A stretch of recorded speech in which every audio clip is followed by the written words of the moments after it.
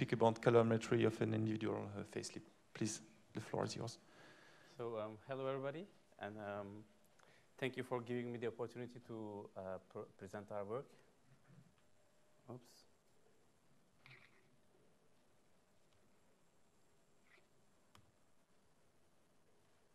Yeah, so uh, I'm going to talk about our project, uh, which is on the um, calorimetric detection of uh, individual phase slips in a, a hysteretic RF squid.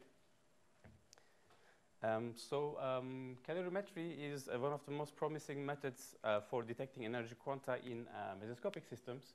And to give you um, a few examples, for example, in the quantum computing domain, uh, there's an ongoing uh, effort to bring the room temperature electronics to the um, chip level and uh, for basically interfacing qubits and accordingly um, having a um, detector which is capable of capturing microwave photons is an important milestone. And uh, some measurement schemes uh, which couples qubits to actually an, um, an absorber can be already found in literature. And um, apart from that, for example, we can also use the calorimetry in single tunneling electron experiments where um, an electron turnstile injects the electrons to the absorber at a uh, desired energy level. Uh, in our case, uh, it's going to be the thermal signature of the tunneling of a, uh, let's say, Josephson vortex um, in, a, in a hysteretic RF squid. So what we have is basically a superconducting loop uh, where the weak link is made of uh, normal metal.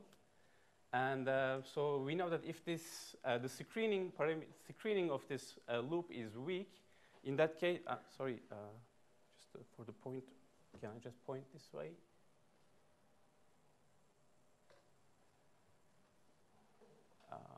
Yeah, for the pointer, yeah. Okay, thank you.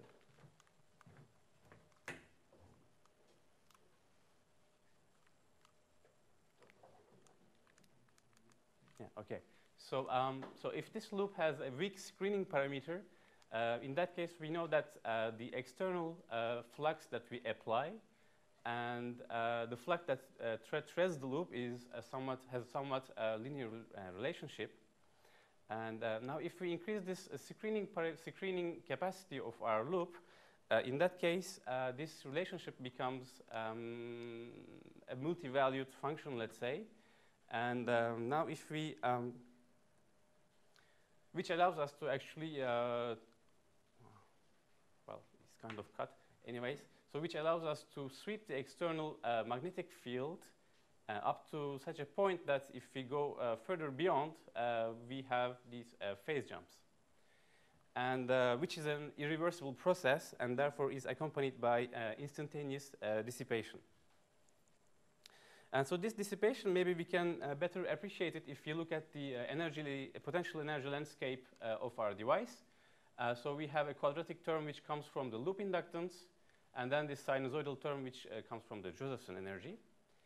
And so basically in that uh, framework, uh, applying this external flux uh, corresponds to the, to the tilting of this uh, potential uh, landscape uh, to such an extent that the initial stable point is not stable anymore and that our phase particle, which represents the system state, basically falls to the next valley. And in that sense, this difference in free energy is basically dissipated. And uh, so if you look at this uh, circuit model of our device, uh, we see that this actually dissip uh, this dissipation is uh, absorbed by the non-superconducting part of our uh, loop and in the form of Joule heating, right? So we are, we are basically heating um, actually the electron electronic community of our device. But as this normal part is concealed on both ends by the superconducting leads, actually uh, the, the dominant relaxation mechanism is uh, via phonon, phonons. And uh, given the fact that now uh, actually we uh, operate at sub-Kelvin temperatures, uh, this electron phonon coupling is weakened. therefore, this relaxation is actually taking, it's happening in mic microsecond scale. And so, yeah, this is what we want to um, resolve in real time. Uh, to sum up, so yeah, we want to generate phase slips in a hysteretic uh, RF squid and then uh, resolve in real time the heat release coming from this event. So in practice, if you look at our uh, SQUID device, so it's uh, something like that. Actually, we made it quite big uh, for two reasons. First, it's, it's helping us to get a hysteretic, it's helping us to be in the hysteretic regime, and also it's helping us to get a, a better coupling with the flux line. And also our device is um, embedded in an RLC, parallel RLC circuit, um, such that actually which allows us to, uh, um, unlike the conventional measurement schemes, uh, it allows us to do some uh, fast measurements. We basically read the output power uh, at the resonance uh, with, with a high bandwidth. And we also, some, we also have uh, an extra piece of circuitry which allows us to impose some, apply some voltage bias on our device, and this way we can get the tunneling spectroscopy of our device. And uh, also I need to mention this third finger uh, that uh, is in contact with our normal metal, but this time with a tunneling barrier. And uh, this way um, we can actually probe the density of states of the normal part. And so what we see is that as this normal part is under proximity effect, uh, means that there is already, uh, there is some pair correlations present in N, and so what we get in the end here is sort of SI, S prime Josephson junction. And its signature, we see it at actually zero bias, as a, as a zero bias conductance. And um, so it has been shown, um, unfortunately, yeah, I cannot, we cannot see here the references, but it, ha it has been shown that actually this uh, zero bias conductance, uh, the, the, the temperature dependence of this zero bias conductance uh, can be used as a very sensitive thermometer. And this is uh, what we are showing here. Uh, basically, the difference in power uh, between 50 millikelvin and uh, 400 millikelvin. And on the right, we are basically tracing uh, this um, output power as a function of temperature. What we see also is that, um, so as proximity effect is a phase phenomenon, a phase-dependent phenomenon, our actually calibration curve, let's say, is also answering, responding to the phase bias that we impose uh, on the Josephson junction. Um, okay, so uh, next, uh, what we show here is that these are really small bandwidth, a small, um, slow um, magnetic field sweep measurements. We are basically uh, sweeping, like applying a ramp here, and then simultaneously uh, reading the output. And so what we see is that um, basically, okay, yeah, something looks like it's jumping first. Uh, but actually, we see that uh, um, our device, this kind of confirms that we are in the hysteretic regime um, because we see that the phase cannot go through full cycle of 2 pi, but uh, the jumps are taking place whenever we are reaching pi over 2. Um, and it, it's not shown here, but uh, from these measurements, we can also obtain the uh, beta, the beta, the screening uh, parameter, and it also confirms that actually our device is well in hysteretic regime. Um, okay, so up to this point, all of the measurements were like uh, with a really small bandwidth and uh, let's say static steady state measurements. So I'm kind of getting to what I promised in the beginning. Uh, so next, what we do is that on this uh, flux line, we are applying a, a, a fast pulse, uh, which basically um, um, does a back and forth. And this way, we get actually a two phase slips round trip. And so, yeah, the, the idea is to um, do this in a synchronous manner with our uh, acquisition device and uh, observe this uh, relaxation. And so this is what we see here. Uh, this is basically the, I would say, the main takeaway of this, uh, of this uh, work. Um, so we repeated this um, fast measurements at different temperatures and uh, we see that here we, uh, the, the pulse uh, arrives at zero microsecond. And what we observe is that a, a violent increase of the electronic temperature, the electronic community of our normal metal, and then it basically uh, goes back to initial temperature, but uh, at a, a, much slower uh, pace due to the yeah, weakened electron phonon coupling. And as we increase the temperature, um, of course, this uh, first electron phonon coupling is getting stronger. Therefore, this relaxation is now uh, faster. but also the critical current of our uh, Josephson junction is decreasing, therefore we are also depositing less power on uh, N. Also the heat capacity of our absorber is uh, getting bigger. So actually we went up to 250, 200, uh, 300 almost, but at, that, uh, at those temperatures it was just a single point and it was impossible to uh, resolve in real time such um, relaxation. So um, next, we just concentrate on the relaxing part here. And we are basically trying to show that uh, actually um, this relax relaxing part is in line with what theory predicts. And this is the case for the, uh, the let's say, the first part. But it seems as if there are two uh, relaxation mechanisms. And uh, so yeah, this is something we don't really understand, but we argue that there's a, a second phonon bath, maybe uh, due to the magnetic impurities on the surf, uh, copper surface, or yeah, we are open to discussion about this. But yeah, it seems uh, as, as though there is a, a secondary, a slower relaxation mechanism. Yes?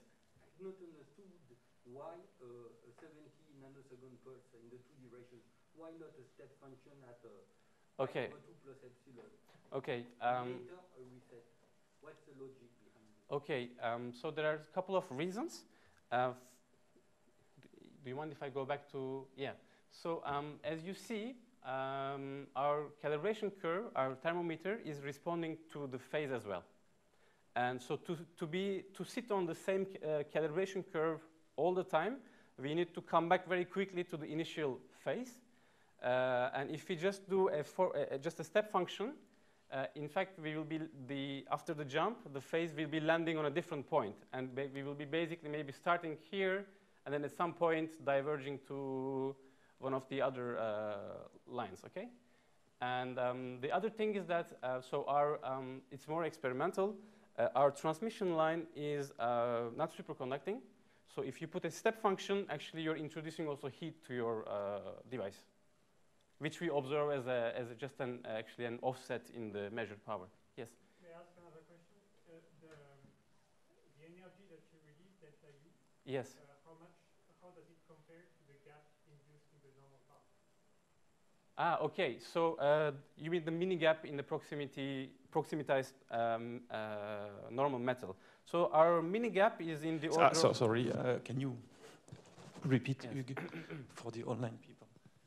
Yes, I was asking how the energy which is released, this delta U, yes. compares uh, to the mini gap in the normal part. Yes, um, so the mini gap, actually we can kind of see it here as this uh, convolution integral um, shows us that you know we have basically delta 1 plus mini gap minus mini gap here. We get two coherence peaks. So it's in the order of several tens of microelectron volts as mini gap. But the dissipation, as I was saying, is quite violent. It's in the milli-electron volt range. So we are dissipate, we are actually depositing something around 10 to 15, even more uh, milli-electron volts to the end. So it's just basically shooting the temperature to 200 uh, millikelvin. Okay. Um,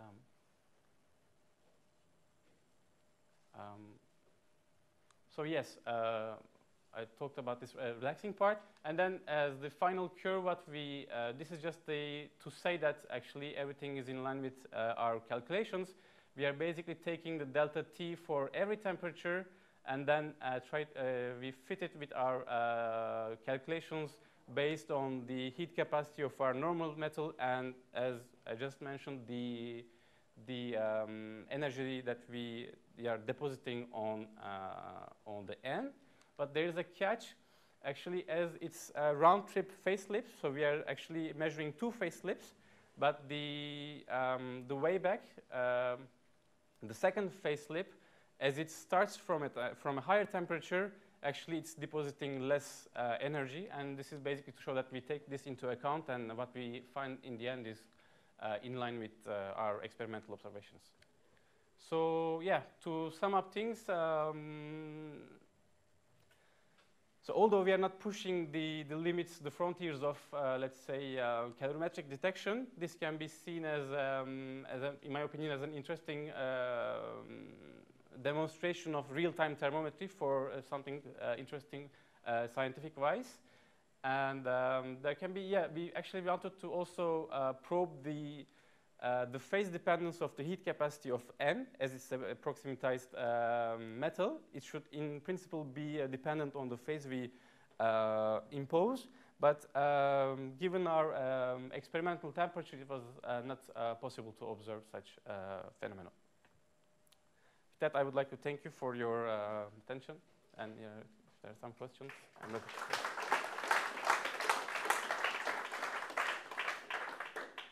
Okay, Johan?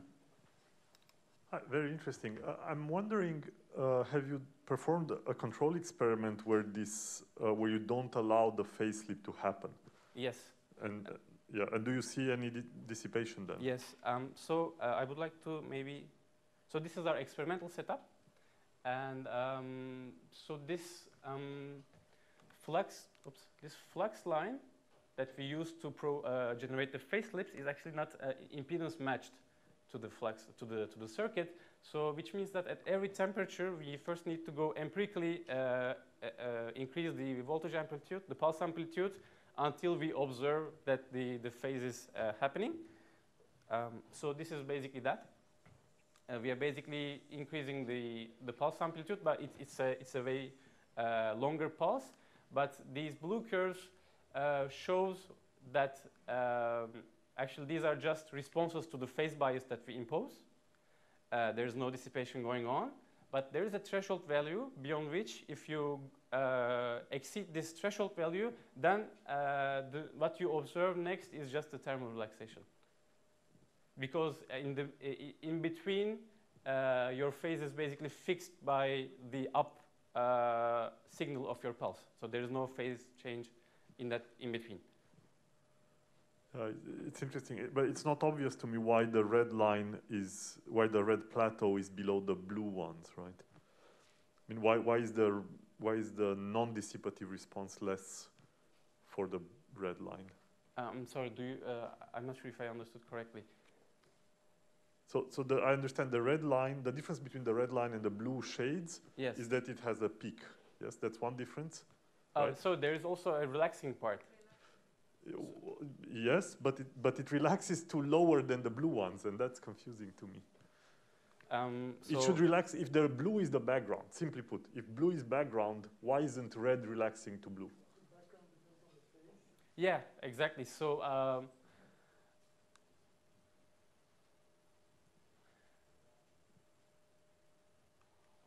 okay, maybe it's too technical. Maybe it's a detail.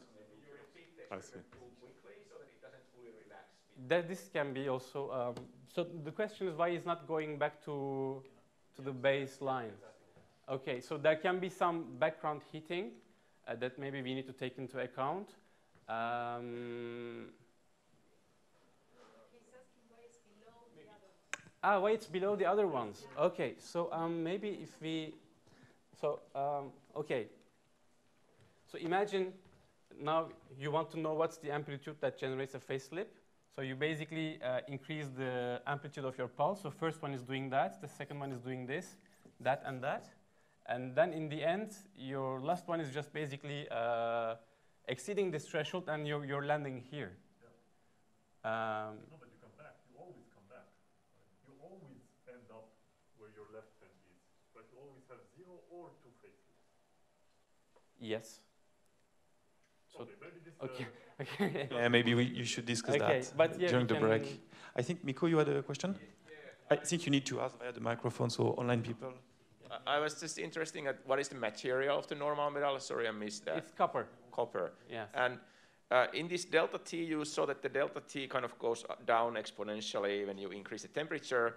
But still, to me, if I look at the, you know, at the peaks at the highest temperature that you get for each of those peaks on, on the on the left plot, they yes. were like they were going up when you increase the temperature. So my question is that uh, when you increase the temperature, could it be possible that actually the peak on the left that would be lower at higher temperature, or is that already the case? It's got, got a little bit difficult to see there. I think that's the case. Uh, is that the case? Yeah, I think so. At a higher temperature, the peak is relative to the background. Um, Yeah, relative to the background, the, it gets lower, but the, the absolute value of the peak, at least to me, that seems that the, it, at, at, the yellow one is the highest at the peak. Ah, okay. Um, so actually, maybe this can uh, help. Um, so basically, actually, we there's also, we also observed double jumps that I, I couldn't mention, but here. Uh, what we see is that the, the initial beta and the beta that we get after the jump. And as screening parameter is temperature dependent, basically it's just the temperature dependence of the critical current. And what we see is that uh, actually it's um, for low temperature it's kind of uh, it's corresponding to a how to say uh, to a saturation, but uh, as you go to the higher temperatures, yeah, I mean there is there is it's it's hard to how to say it's hard to give it's hard to give a direct answer because you need to again um, put in your calculations the dissipation that is coming from the jump, your initial temperature, the heat capacity at that uh, temperature, and then get the delta T. So I cannot say that it increases linearly. Okay, thank you. I- I'm sorry. I think we have to stay on time. And thanks, uh, Efe, again. Welcome.